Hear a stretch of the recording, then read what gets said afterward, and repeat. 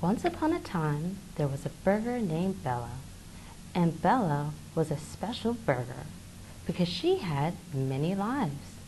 Each day, Bella would wake up in a fast food place, and she would patiently wait for her turn to be cooked and served by the chef. Bella was the popularest item on the menu. When she was eaten, customers would comment on how delicious the burger was. And Bella was happy as she fell quietly asleep. Then, the next day, the process would start again. The restaurant was open for many years, and one day the chef bought some new tasty ingredients. Bella was waiting for her turn to be served, but then she heard the new food referring to her as junk food. And boy, was Bella sad. She was so sad that she knew that she wasn't junk food. Unlike her friend the soda, he make people feel sick if you drunk him too much. Or nachos and cheese. he'd fill people up, but he wasn't really good for you. Bella saw herself as a well-balanced and delicious meal.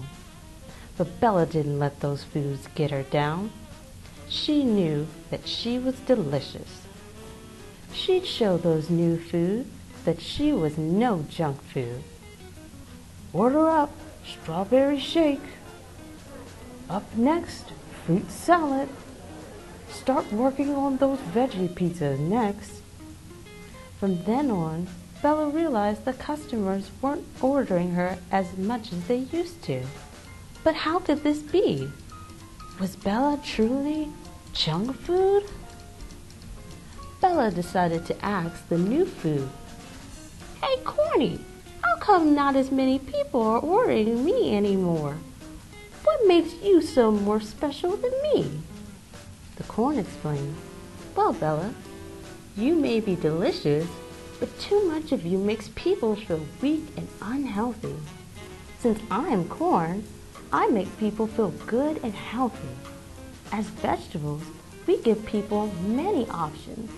They can eat us cooked or they can eat us wrong. And eating enough of us as a healthy snack is good for them.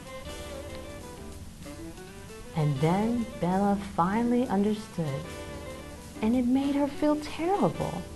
It was all her fault. So one night, Bella came up with a solution anything to get rid of that terrible, terrible name. This time, when a customer would order a burger, it was from a different menu. This burger tastes different, said the man. Does it taste funny? said the little girl. No, just different. The girl took a bite. It tastes good to me. Yeah, you're right, said the man.